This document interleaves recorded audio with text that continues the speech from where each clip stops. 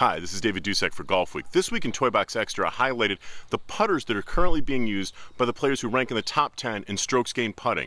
And you may be a little bit surprised to know that the world's number one player, Jason Day, is also statistically the best putter on the PGA Tour.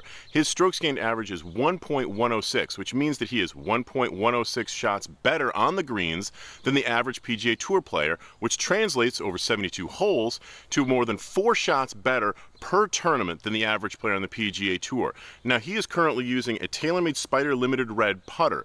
Now, Jordan Spieth, who is also one of the best putters on the PGA Tour, and he currently ranks fifth in that category, and he's at .875 shots better than the average PGA Tour player in every round, and he is using a Scotty Cameron for Titleist 009 putter.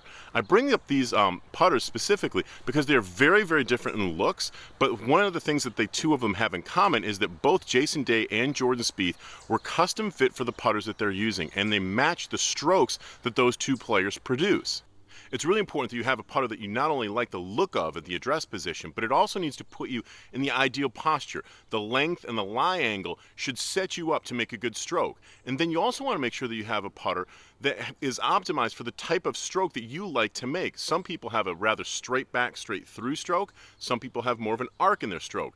If you're somebody who makes a more straight back, straight through motion, you're probably going to want a putter that is what we call face balanced, like this one. In this case, you can see that this putter, it's the face, when I hold it out here and just balance it, it points almost directly up to the sky. This putter is probably going to be better for someone with a straight back, straight through motion. If you're someone who has an arc in your stroke, you're probably going to want a putter that has what we call toe hang to it. And the degree of toe hang can vary, but by basically having the toe come down, we know that this putter is going to be a little bit better for somebody who has a little bit more arc in their stroke. Now, one of the things that's really interesting though is that just because the look of the putter is a mallet doesn't necessarily mean be good for a straight back, straight through stroke.